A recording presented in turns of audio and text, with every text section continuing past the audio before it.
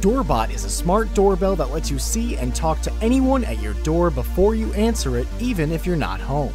And Mico Headwear detects brain waves, analyzes your mood, and selects music that specifically fits your mood.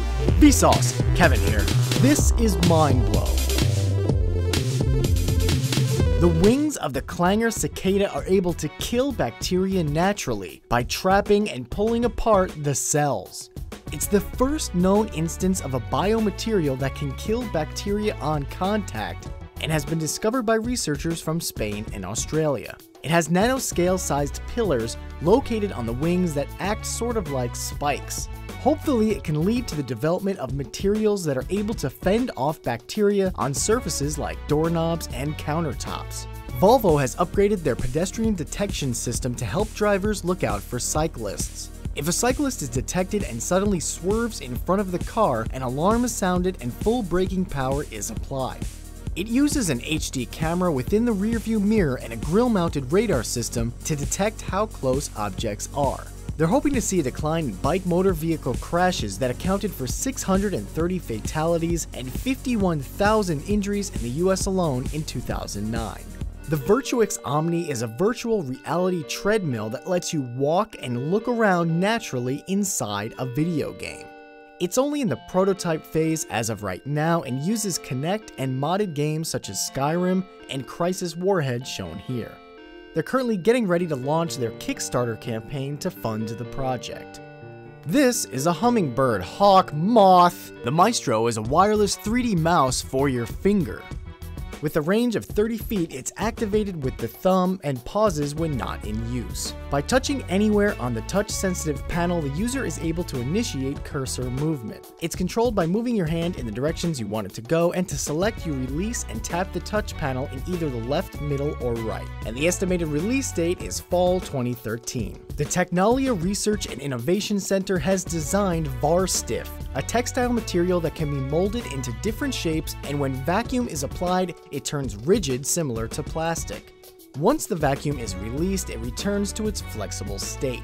It's first going to be used on accident victims, giving paramedics the ability to create an instacast to quickly immobilize parts of the body that are vulnerable to damage.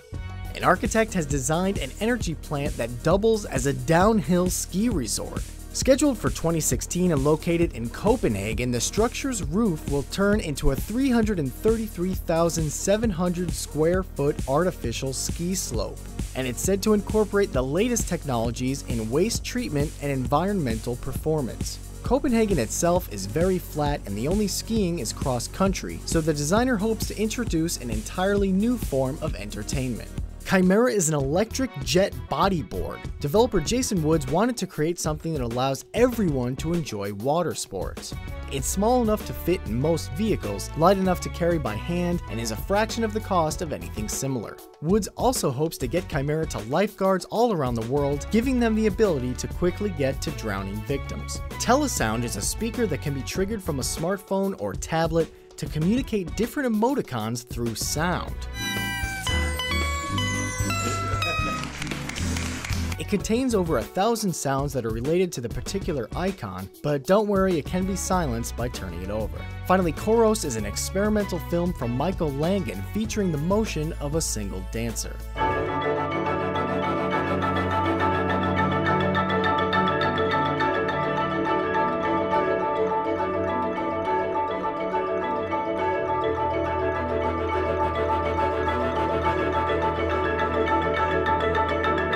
I'm gonna leave you with a tadpole with a working eyeball on its tail, put there by scientists.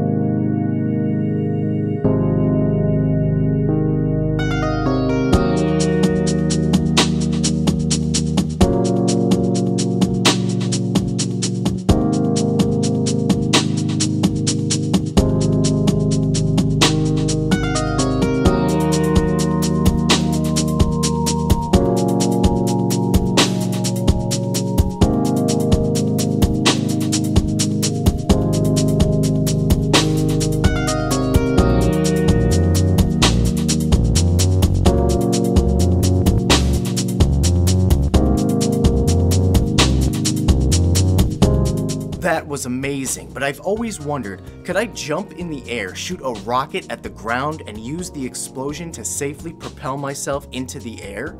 Kevin, it's actually funny you mentioned that because it's a popular move in video games called a rocket jump, and we discussed that and other explosions on Vsauce 3. Well, let's go check that out. Click this annotation right here or the link at the top of this video's description to watch Vsauce 3. We'll see you there. I'm out. And as always, thanks for watching.